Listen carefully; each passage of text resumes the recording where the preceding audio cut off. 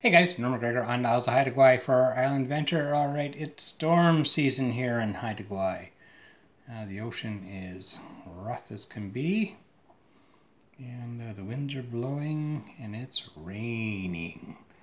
So, what's with that? The temperature starts to drop and uh, we need to get the wood stove going. So let's uh, show you how I light my wood stove.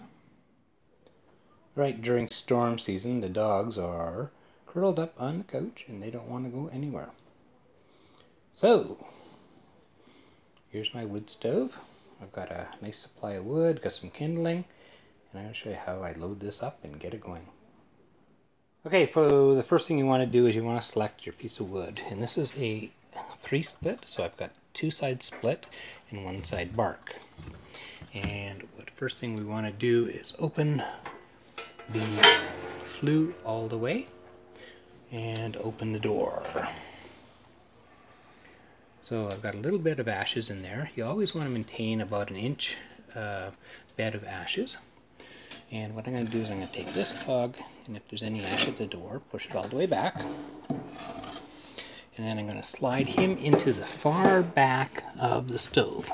And what I want to do is I want to keep two sides of the cut to the front. And what that's going to do is that's going to give you me the maximum surface area for the flames uh, from the kindling to light. Now we're going to put some paper in. Okay, for me, what I use is I use the junk mail that comes in to uh, our house. And what I do is I take five sheets and I scrumple them up and put them right in the very front of the stove. Now what I'm going to do is I'm going to pile kindling on top and uh, that's going to give me a quick burn.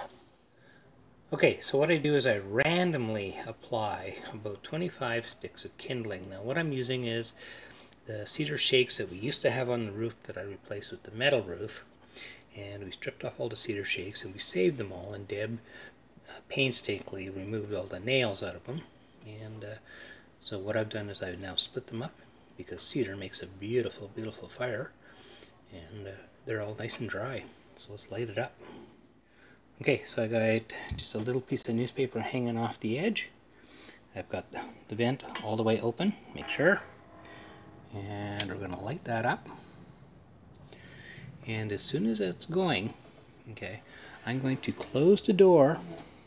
And on this particular stove, I can actually latch it all the way okay and with that kindling and that amount of newspaper I'm going to get a quick quick uh, heat into my flue and it's going to draw like mad and I'm going to get a good burn.